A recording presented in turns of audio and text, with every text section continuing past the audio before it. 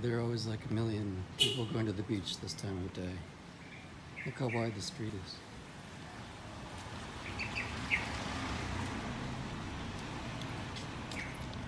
Very narrow.